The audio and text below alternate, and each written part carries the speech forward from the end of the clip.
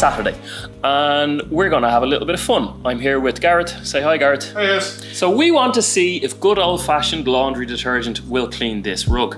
So I went out and I bought the market-leading laundry pod to see how well it would work at cleaning it. Now the rug is absolutely filthy, like really bad. I'm gonna guess it's about 30 or 40 years old, and I'm also going to guess that it's never been cleaned in its entire existence. It's also made of wool, which is why I think this might work a little bit better than you'd expect, but I'll explain more about that a little later. Now for some extra added spice, I'm gonna make this a little bit more interesting and I'm gonna split the rug 50-50 down the middle and I'm gonna clean it with some Oriental rug cleaning shampoo, which is a professional grade cleaning product that's manufactured in the USA. So if you're watching from America, I think you call these Tide Pods. We call this a Persil pod. Yeah. We call this a Persil pod, or this particular brand is Persil. I think the most common brand in America is Tide. So we're literally going to do a 50-50 split with our good old-fashioned laundry pod and our professional grade rug cleaner on this side. So I've got two buckets behind me. I've got five litres of water in this one. I'm gonna drop my laundry pod in. Give that a few minutes to dissolve. And I also have five litres of water ready to go with our rug cleaning shampoo. I have some Gorilla Tape here. I'm gonna tape it right down the middle, but first I'm gonna vacuum the rug really, really well. I won't bore you with the detail, but 95% of soil in a rug is gonna be dry, so if you get it out dry, you're not gonna turn that into mud and it's not gonna make the rug look worse rather than better. So first things first, we're gonna give the rug a really good vacuum.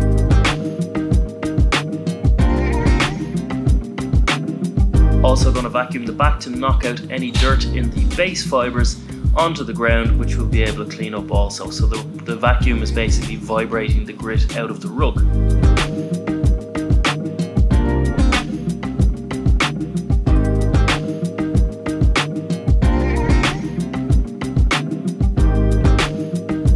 Okay, now the rug has been vacuumed. We've got our tape down the middle. I honestly don't know how this is going to turn out, so I'm kind of excited to see how well or not well the two products do. I know that this one is definitely going to work because we've cleaned thousands of rugs with it, but I've never cleaned a rug with this stuff. Point to note, the reason I've gone for a biological washing powder is that biological washing powders, the biological element is actually enzymes which clean dirt, as well as the detergents, surfactants, various different other chemicals and compounds in the laundry detergent.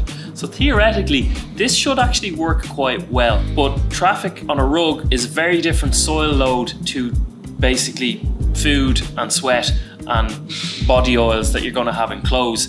So it'll be interesting to see which one actually does or if they're anyway equal in their cleaning power.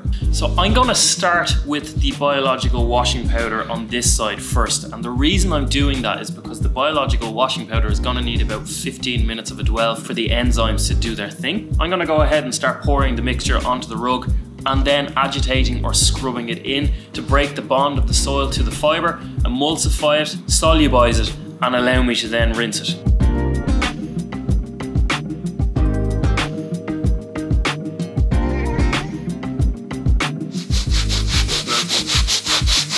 You can actually see it breaking out. Yeah, I was- I'm looking at the colour on this. Too. Yes, you can see it's breaking out the soil, but like Like if you look at that top half compared to where your leaves are, So you can already see, as Gareth is pointing out, the top half compared to where my knees are. And you can see that the colour in this is becoming richer and more vibrant because it's, well, cleaner. I'm quite impressed with it. But like one of the key ingredients in this is probably washing soda, which is in a lot of the professional stuff as well. Yeah, I wasn't expecting. it's got a result. Yeah, I'm, I'm actually seeing the colours starting to really pop and I was not expecting that at all. The irony of it is, at the start of this, you said yourself, this is for washing clothes and stuff like that, and wool is used in clothes. Yeah, wool is used in clothes, but it's not the material, it's it's the soil type. And a soil type in a rug from foot traffic and pets and grease and fires and all sorts of stuff, whatever else is in a home, is very different to traffic in clothes. I've saturated it. Oh, holy shit. Come in. Here, look.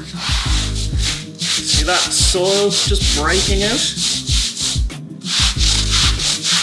Wow, okay. the camera's picking it up great too. I'm like, I've been, like, look here.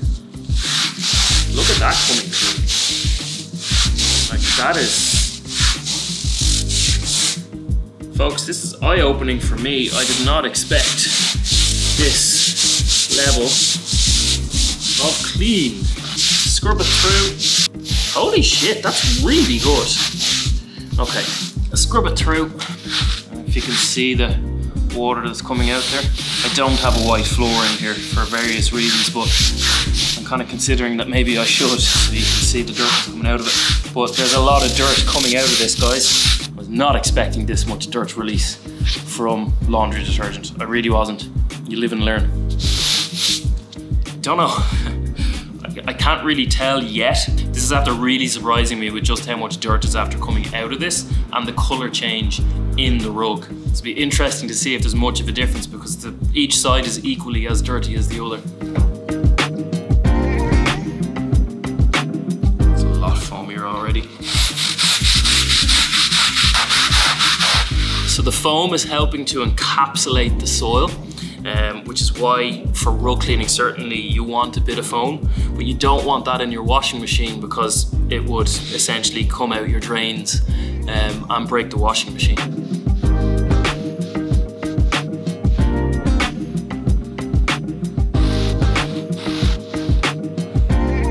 It's kind of hard to tell at this point, but I think this is looking a little bit better, but we can't really tell until we're finished.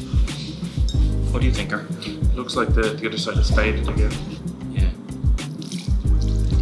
Like looking at the past the foam, it does look like it's brightened an awful lot, and not because there's a white filament of foam on it. It actually looks like it's it's broken out more because in the foam itself, the foam looks dirtier. You yeah. can see the dirt in the foam. Yeah. Well, this is this is a really good rug cleaning product, so it's designed to do what it's designed to do.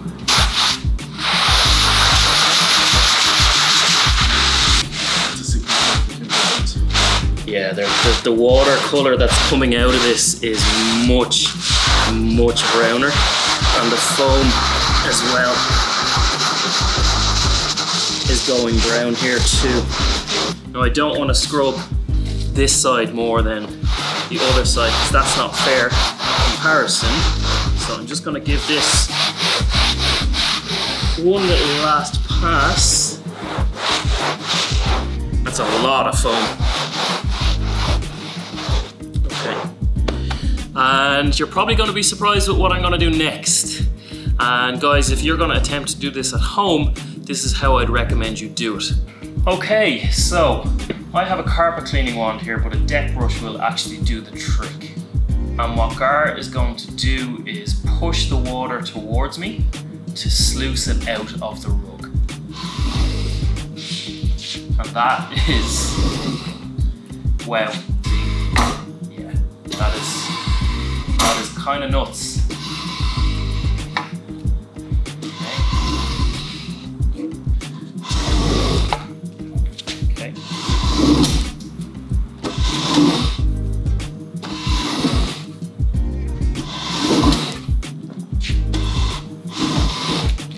That is kind of nuts.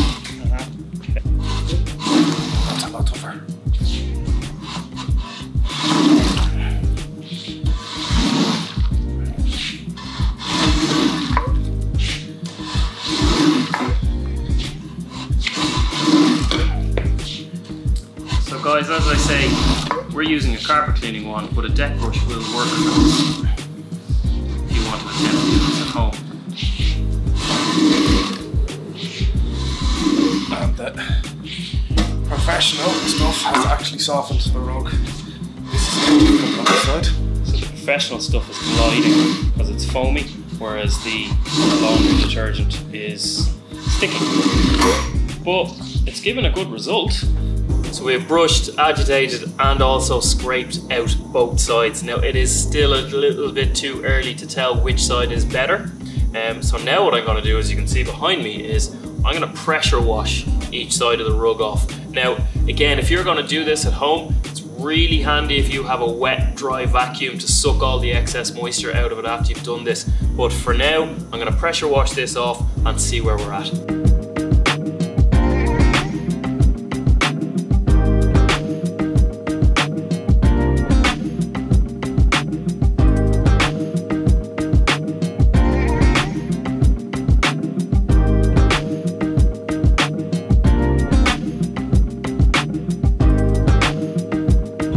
Have vacuumed, we have scrubbed, we have tried our two different products on it. I said to you guys earlier, if you had a wet vac, this is gonna make the process a whole bunch easier. Now I have a portable carpet cleaning extractor, so what I'm gonna do is extract each side, pull out the residual moisture, and then we're gonna judge exactly how each product has done.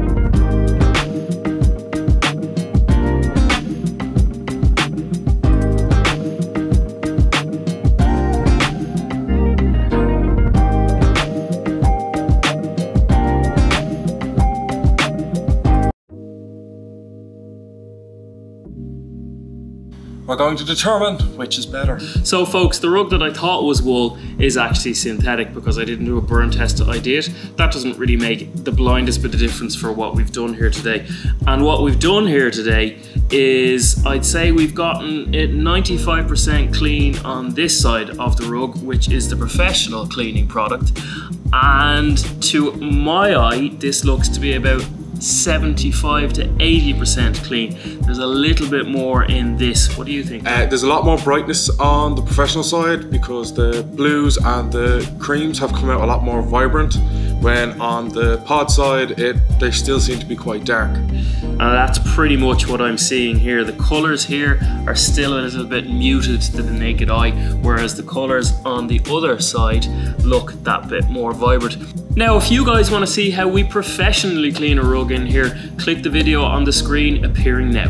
He says him, but he really means me, you know. I, I, I do the cleaning. I trained you.